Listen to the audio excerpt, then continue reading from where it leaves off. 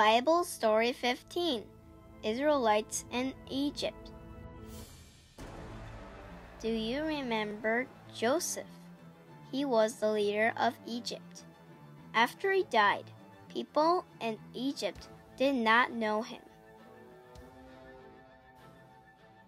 The Israelites became slaves. New king was mean to these slaves. He made them work, but he did not pay them.